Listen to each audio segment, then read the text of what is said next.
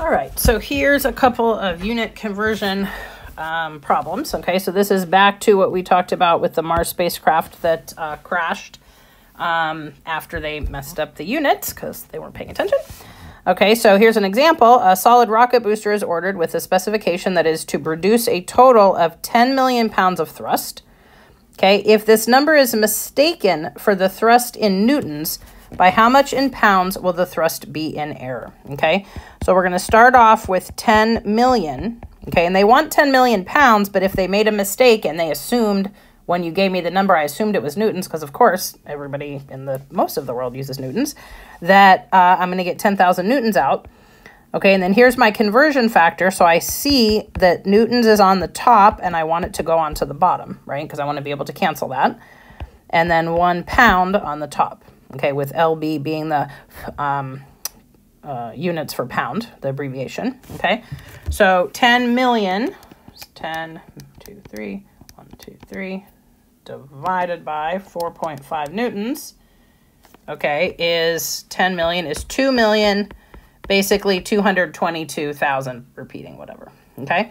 All right, so really, if they did that, they wanted 10 million pounds, but they were only getting out uh, about 2 million pounds, roughly, about 2 million. Okay, so they're actually off by, if I subtract those, so 10, 1, 2, 3, 1, 2, 3, minus answer.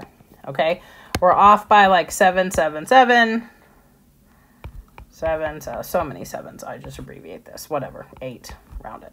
Okay, is that right? Two, three, three. Yeah. Okay. So they're off by nearly 8 million pounds. So you think you're getting 10 million pounds, but you're really only getting about 2 million pounds.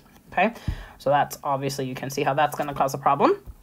Okay. The second one um, at Tokyo Disneyland Space Mountain, an axle broke on a roller coaster mid ride, causing it to derail, uh, mainly because there was a wrong size uh, due to a conversion, basically, again, from English to metric units. Okay. So they're saying if a bolt was ordered with a thread diameter of 1.25 inches, okay, what is this diameter in millimeters? All right. So if I have 1.25 inches, okay, um, I'm just going to go ahead and look up the conversion. I'll probably put it on the class kick for you. Uh, inches to millimeters. I think it's like 254, 25.4. Yeah. Okay. So one inch is 25.4 millimeters. I'll go ahead and write that on. Okay. Um, so again, here's my inches on the top. So I know I have to put inches under here. All right. And that goes with the one. And then 25.4 millimeters. Okay. On the top. And then those units are going to cancel. So 1.25 times 25.4. Okay. So they really were getting a part of 31.75 millimeters. Okay. Um, and they're saying if the order was mistaken to be 1.25 centimeters, right? So here again, we're going to start instead of inches, we're going to assume that they decided centimeters, okay? And then one centimeter has 10 millimeters in it, right? If you think about a ruler, right, the little tiny marks are, are millimeters, and then the numbers are um, centimeters. Okay, so 1.25 times 10 is 12.5 millimeters. Okay, and as you can see, that's off by quite a lot. You can see why that's going to cause a problem. Okay, it's off by 2 point, no, that's not right, not divided by. Oops, again, 31.75. See how I knew that wasn't right, because I'm like, that doesn't make any sense. Minus. Minus. Okay, so it was off by 19.25 millimeters, right, if I subtract those, okay? So that's a pretty big difference. Okay, that's going to definitely cause a problem. Okay. All right, number three, um, Air Canada Flight 143 ran out of fuel about halfway through its flight from Montreal to Edmonton. Uh, fuel loading was miscalculated uh, through a misunderstanding of recently adopted metric system. Okay, again, an English to metric problem. Okay, for the trip, the pilot calculated a requirement of 22,300 kilograms of fuel. Okay, so that's what we've got, 22,300 kilograms and there was already some in the tank, okay? So let's see, if a liter of jet fuel has a mass of 0.803 kilograms, okay? So there's my similar unit, so I know that's going to go on the bottom. Kilograms, and that's worth one liter. That's a capital L. Do that in chemistry next year.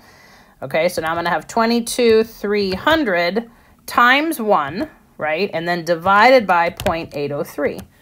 Okay, so what he really needed was 27,770.9 liters um, of fuel. Okay, um, so 22,300 kilograms is equal to 27,770 liters. Okay, um, and then there were, I don't really understand this question, 7682 liters already in the tank. Oh, yeah, I see. Okay. Um, so if they already had 7682, right, but I need 27,000, so minus 7682, okay, that would be an additional 20,088.9 liters to, to be added, okay? So this one I don't think is asking you about what was the problem, but he said 22, 300 kilograms. So let's just hope that that's right, okay? All right. Um, yeah, so he needed that much. So clearly, I guess there was an error somewhere. All right. And that is it for this.